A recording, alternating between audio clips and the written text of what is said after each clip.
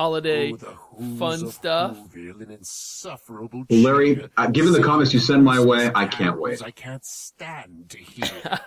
this insufferable noise that harasses the ear. Why must I tolerate this year after year? All right, I got the music going. Kicky pop rock vibe. You still with me? I'm right here. All right. Hi, and welcome to Seattle's number one comic book podcast, the podcast that is dedicated to the first issue of your next favorite comic. And tonight it's a bonus episode with my good friend Ryan Berg, all the way from, say it, Maui, Hawaii. Yeah, I got special music to take us out at the end of the show, but uh, tonight we are just gonna be what shooting the shit. I, I think that's a safe way of putting it. Absolutely. I, I was before the show, so Ryan and I. Ryan has given me the best gift on his way out the door to um to move to Maui. He gave me a crate full of wonderful comics. I call it my Berg box. oh, that's fantastic. I'm gonna paint. I'm gonna paint it gold. Eventually, I'm gonna paint it gold, and I dig into it once in a while. And I love, I love, love, love. I never Oh. told you this, but I love the fact that uh, I got dupes in it. Like you and I Oh, have yeah. similar taste. Lots of Batman, and Yeah. uh, and I got dupes, and I love giving comics away. And I was like, oh, great! Now I can give that old one. You know? Well, that's fantastic. Right on. I, you know, Larry, I, honestly, when we were going, it was like everything must go. And I, I thought to myself, if there's anybody who I can give all these to, it is my main man, Larry. And he will find a way to either use it, repurpose it, or put it in a Berg box and paint it gold. And that will be perfect. and, and that's exactly what's happening. I mean, like I dig in it every once in a while, and uh, you know, I um, I'm I'm an electrician. I go into homes all the time, and there are lots of paper in people's houses. I got lots of paper, and I'm always just like, man, someday I'm gonna go paperless, but not yet. you know, it's, it's, it's, it's not as easy as it should be, but it's getting there. No, it just depends no. like you know it's but it, it- it's the kind of thing where i mean it's kind of hit or miss right where in terms of going paperless it's like you have to be sure that you've got all these pdfs of everything that you've created or somehow you know managed or wrangle and then you save it and keep a backup of it so it doesn't all crash and vanish oh. because hard copies, you know hard copies can disappear in a fire right but but like digital copies can just disappear and be gone so you have to be very careful I, I, you know, I, I revisit things a lot. I, I really do. I mean, like, geez, how many times have have I read Sweet Tooth? You know, or yeah that's yeah you know, Dark Knight Returns. You know, like, yeah, everybody. yeah, yeah. Uh, but a lot of the stuff, or or the Parker stuff. Oh my God! And I have all of those, and I've given them all away, and I and I hate myself for it because I'm like, but I'd really like to look at that. But you know who has all of that now? Comixology. oh really oh They- that's nice So now, Cool. uh, James, my James, uh, the regular host, who has moved to New Zealand. Can you believe that? oh new zealand we do the show from New Zealand. We're That's international. We're international. oh that's awesome that's so great Yeah. So uh, he, uh, um, he and I have, uh, uh, we got, uh, um, you know, we just mostly do Comixology, uh, digital, and uh, we're always picking stuff off of. Uh, if you have six bucks to blow and tons of time, because Comixology Unlimited gives you so much stuff, so much Wow. stuff for free. Well, not free, six bucks a month. Yeah. I have So- to look into that. That, looks, that sounds pretty good, actually. Where do you, where do you find your comics? Well, right now, honestly, um, I only caught up on the ones you sent me. I haven't read them since I left Seattle. So Oh, you've been comic bookless. I have. It's true. Here's the here's the rub. So you know, I basically got nearly everything I was reading through the you know the Seattle or King County library system. And Oh. here, there there it just it's it's not nearly as robust. So like you know, I, I can't get it. And then as far as like you know getting electric copies, it's not so simple either. So they don't they don't typically release ebook versions of graphic novels and collections. Sure, sure, sure. So, Yeah. Which which I, eventually they may, and maybe they're starting to move in that direction already, but not in terms of libraries. So. Before Comixology Unlimited, I went to the library three times a week. It's not far from my house, and it was awesome. You just like Oh, get yeah. online and you just and they send you an email when it comes in. It was Yep. fantastic. I used to go and get like 20, 30 at a time. I mean, and then it was weird because like you, you try to like pre-order them like a few months out and get on the queue because like, you know, anything goes popular, like anything by Scott Snyder or, you know, Jason Aaron or those, you know, authors. It was just like, you know, so, you know, the minute it popped, it popped. Uh huh.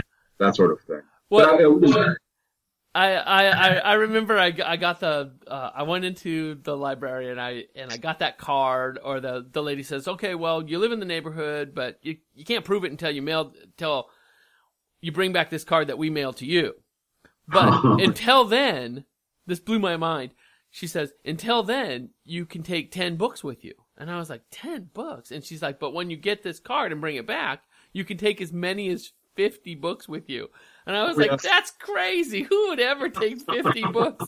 And at one time I had 38 things. like, Yeah. I was like, oh man.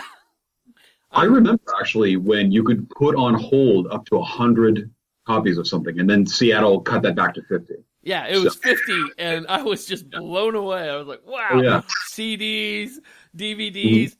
And comic books.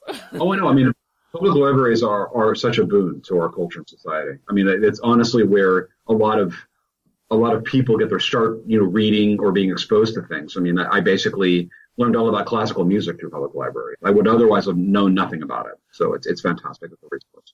Yeah. So I, I pay for I pay for any service that I can get like stuff. Like I just I mean like now now like just in my hot little hands the second I want it. Comixology, Spotify, uh, Yeah. uh, I, I, I, uh, I subscribe to a news service. It's awesome. It's just great Yeah. stuff. Just put it in my hand. I love knowledge. I'm not that knowledgeable, but I love knowledge. That's what counts, my friend. so what are you reading? What you what what what did I send you anything good? Yo, yeah, no, I um, I thought that actually of the stuff that you sent me, I found um, I found the Batman Elmer Fudd special and Shanghai Red to be the most interesting. Oh, that I'm gonna dial that up. That Batman was so good, wasn't it? Like I It thought. had no right, no right to be as good as it was. But Tom King's a genius. Did you read his Vision stuff? I That read? Vision. I read the Vision stuff. Holy cow! That stuff was a gut punch. Oh, I I mean, know. finish was a gut punch. Tom King is really good. Whatever he does is really, really good. Oh, and he's doing he's doing Batman right now, and he is and he hasn't stopped. He hasn't done a dud yet. He He- did the yeah, he did all he this wedding stuff, and uh, Yeah, no, I, I, I, I looked at that like kind of like uh, just at a distance, and I'm like, this is crazy. So, but I mean, you, you, I mean, this is the thing. These are characters that have been in in our culture. I mean, let's think now. Batman will be ninety some odd, you know, be ninety years, like in in the late you know twenties of, of our of our century. So, I mean, they you have to do things to make them interesting, or at least give them some sort of life. Otherwise, what's the point? You know, I mean, like you've got to you've got to make it interesting. You got to change them. You've got to like make them uh, like more nimble, for lack of a better term. So I, the whole wedding thing I thought was fascinating. The, the the the the duality between Batman and Catwoman, and then Bruce Wayne and Selina Kyle is pretty fascinating. oh, so you so you- so you read the the, the wedding stuff. Well, I read about it. I didn't read the stuff. I mean, I read synopses of this stuff because I, I mean, I'm a junkie for this sort of thing, but I can't get the actual copies. So they come out, and then I read about them. So, Oh, now, that- I mean, that yeah, wedding at that. stuff. There was a Joker Selina Kyle uh smashed up wedding where Joker oh spoiler alert if you didn't read it. Oh my No, No, I'm not Yeah. gonna I'm not I'm not actually I'm not gonna spoil it. I'm just gonna wait for you to find it eventually. But Okay. it was so much fun, so sinister. I mean, No. it was it was like rated R. It was rated Yeah. R. It was like a Quentin Tarantino movie. Yeah, totally. I, I totally believe it. I mean, like the way the way that mainstream comics are being written now has a very different sensibility than what they than they did when I was growing up. When I was actually consuming them and you know buying them from my my like the, the store right up the street from my house. You know, and they when they sold them off of the, the spinning rack Uh-huh. many many years ago, before I, I could drive to Berkeley and, and spend every last one of my hard earned dollars on on all the, the the comics coming in there. what what did you buy back then? You were, you I'll tell you what I was buying. I was buying um, uh, GI Joe Mhm. and uh, and uh, Thundercats. I had no idea what the X Men were. Well, okay, so I got turned on to the X Men. I got into them right about the time that they took on the Shi'ar, uh, and they went to the, the the blue side of the moon where the Watcher lives, and they fought. And Jean Grey wound up killing herself. I started kind of following it from that point forward. Um, I was heavily into Batman ever since I was a little boy, but not comic book wise, more just kind of like toy and everything else wise. Uh-huh. Like I had Batman, uh, like the Dark Knight Returns stuff with Miller in the 80s. Uh, I, I would say like I just kind of collected comics that looked interesting when I was growing up, and then when I was like you know like heading into my teenage years, and then college, I got into like that whole world of like um of like Watchmen, Dark Knight Returns, and then I got really into, Sandman and like Neil Gaiman, and I got really into like uh, other Alan Moore stuff. So my tastes evolved as I kind of grew older, and they, and that stuff was being produced to be consumed by people my age.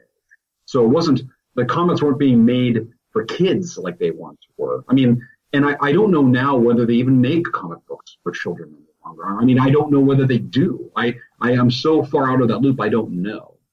So Well, we'll we'll find it every once in a while. We'll we'll do uh, on the show uh, uh, an all ages, but um, and when I go to the shop, I still buy my physical copies. I buy a lot on digital. Don't tell the Mhm. guys. Don't tell the guys at Arcane Comics and more.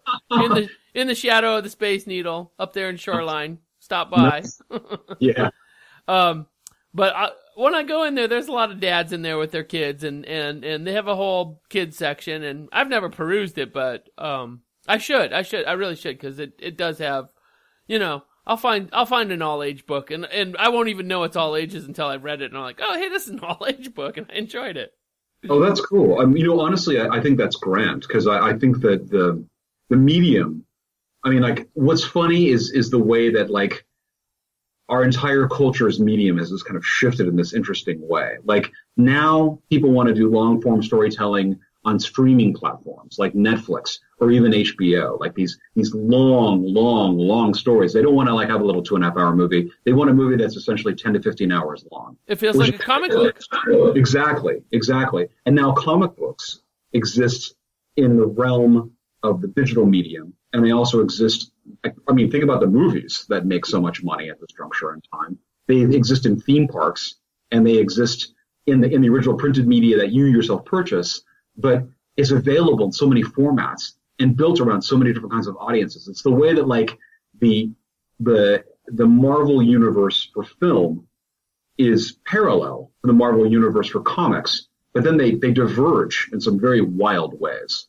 I So- love all those wild ways. Yeah, I mean, yeah, like That, that that's where that's where the good stuff is. It, it shouldn't like you know I love that like the the latest incarnation of Spider-Man in in the Marvel Comics universe is you know just a little bit into his teenage years. That makes sense to me.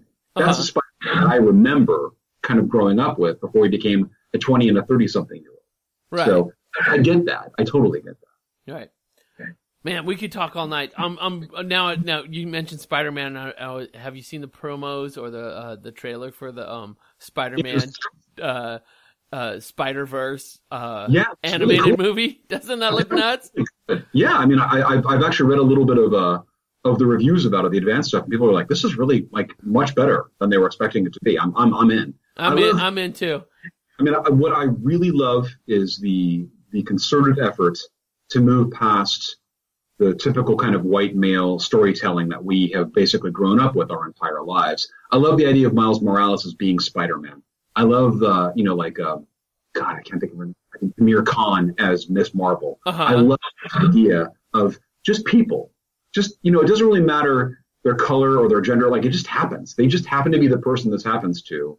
And that makes it very interesting because all of the baggage they bring with them, all the culture that they bring with them informs the decisions that they make as superheroes, which I think is really groovy. It's the way that, like, if you want to go back to it, the way that Superman, you know, rather than being this, like, evil godlike entity that could simply take over Earth if he was so inclined, is, you know, raised by these very, very, like, modest, you know, Kansas farmers. So he has this incredible moral compass So he wants to do the right thing rather than just take the world over. I, I, I, I always think that like we we've ta- we we did a we did a uh, spider book a couple weeks ago,